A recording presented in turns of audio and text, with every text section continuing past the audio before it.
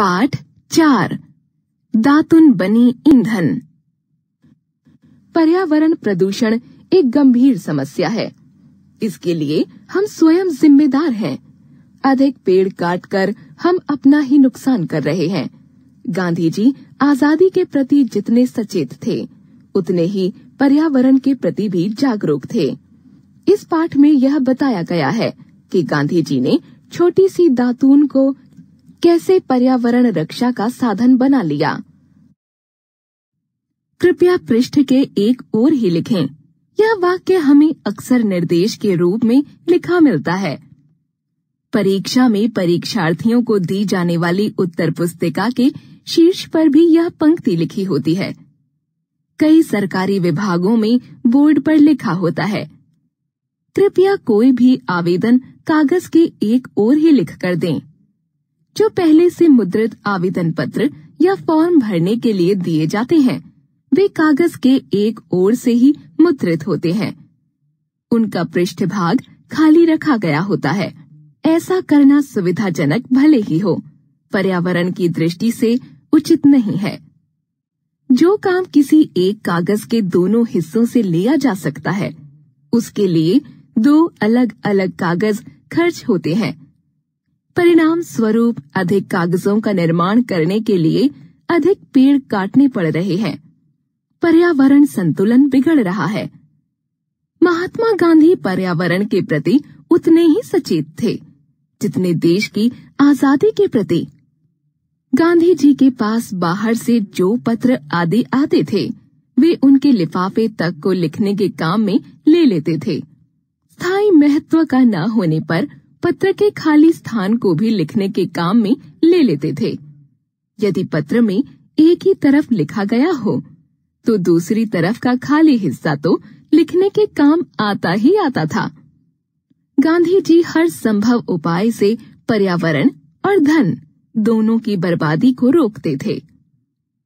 एक बार उनके मन में दातुन के एक से अधिक उपयोगों के बारे में विचार उठा। तब वह इंदौर में थे। उन्होंने वहीं उसी दिन से दातुन का उपयोग एक से अधिक कामों में करना आरंभ कर दिया। मगन बाड़ी लौटने के बाद पहली शाम के प्रवचन में आश्रम वासियों को समझाया कि हमारे देश में अधिकतर लोग गाँवों में रहते हैं। उन्हें ईंधन के लिए जंगलों से लकड़ी काटनी पड़ती है यह उनकी विवशता है। ईंधन का कोई और साधन उनके पास नहीं है। इसी के साथ साथ उन्हें हम शहरी लोगों की ज़रूरत के लिए भी पेड़ों की कटाई करनी पड़ती है। हमें ऐसे उपाय सोचने चाहिए, जिससे पेड़ों की बर्बादी रुके। दातुन को बहु उपयोगी बनाकर इसकी शुरुआत की जा सकती है। गांधी जी ने आश्रम वासियों को याद दिलाया कि हम दांत मांजने के लिए जो दातुन इस्तेमाल में लाते हैं, उसे एक बार प्रयोग में लाने के बाद फेंक देते हैं। यदि हम ऐसा न करें तो हमारे ईंधन के लिए कम पेड़ कटेंगे। हम दातुन करने के बाद उसे साफ़ करके सुखा लें। जब वे अच्छी तरह सूख जाएँ, तब उनसे ईंधन का काम लें।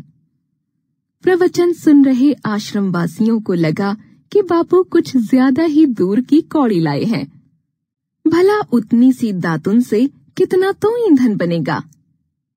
किसी एक ने सबके मन की यही बात उजागर भी कर दी। गांधी जी ने उन्हें अपना अनुभव सुनाया। इंदौर प्रवास के दौरान जब यह विचार मेरे मन में आया था, मैंने और मेरे साथियों ने तभी से इस पर अमल करना शुरू कर दिया था। अगले चार दिनों में हमारी दातुनों के जो टुकड़े जमा हुए, उनसे मैंने पाँचवें दिन अपने स्नान के लिए एक लोटा पानी गर्म कर लिया था। गांधी जी से उनके प्रयोग के बारे में जानने के बाद वहाँ बैठे सभी श्रोताओं को लगा कि हाँ यह हो तो सकता है। दातुन की दातुन और ईंधन का ईंधन। गांधी जी ने उसी दिन आश्रम के एक बरामदे में एक बाल्टी टंगवा दी। यह सूचना प्रसारित कर दी गई कि अगली सुबह से प्रत्येक आश्रमवासी दातुन करने के बाद दातुन के दोनों टुकड़ों को धोकर उस बाल्टी के हवाले करेगा। दस बजे के आसपास कोई एक व्यक्ति उस बाल्टी में जमा हुए सभी टुकड़े धूप में सूखने के लिए फैलाएगा। सूखे हुए टुकड़े कोयले वाली कोठरी में पहुँचाए जाएँगे और बाद में ईंधन के काम में लाए जाएँगे।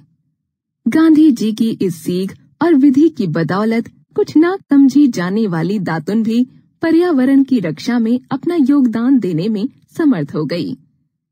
गांधी जी के अनुयायी सुमंगल प्रकाश के संस्मरण पर आधारित।